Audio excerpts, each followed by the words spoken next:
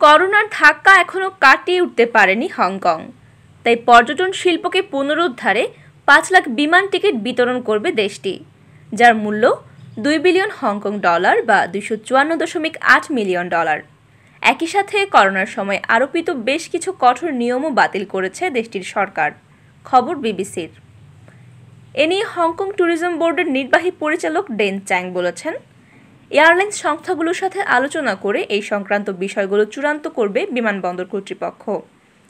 সরকার ঘোষণা দিলে আমরা ভ্রমণকারীদের জন্য কোভিডের সব নিষেধাজ্ঞা সরিয়ে দেব। সেই সাথে বিনামূল্যে বিমানের টিকিটের জন্য বিজ্ঞাপন প্রচারণা চালানো হবে। মূলত করোনার বিরুদ্ধে চীনের শূন্য নীতির অধীনে আরোপিত একাধিক কঠোর নীতি পর্যটকদের জন্য বাতিল করেছে হংকং। এর আওতায় এখন থেকে দেশটিতে পৌঁছানোর পর হোটেলে বাধ্যতামূলক কোয়ারেন্টিনের নিয়ম বাতিল করা হয়েছে। সেই সাথে বোর্ডিংয়ের আগে করোনার নেগেটিভ সার্টিফিকেট দেখানোর নীতিও বাতিল করা হয়েছে। এসব কঠোর পন্থা বাতিল করায় এরই মধ্যে হংকংয়ের দিকে ঝুঁকছে পর্যটকরা।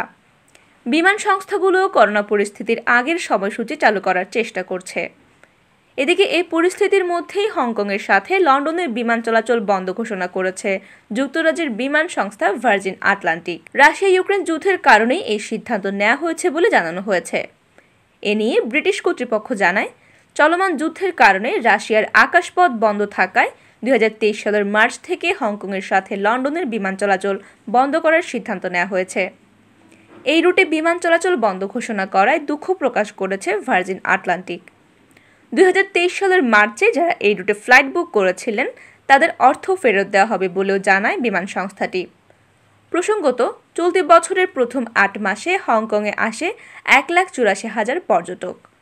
করোনা শুরুর আগের সময়ের চেয়ে এই সংখ্যা অত্যন্ত কম। এর আগে দুই হাজার উনিশ সালে পাঁচ কোটি ষাট লাখ পর্যটক ছিল।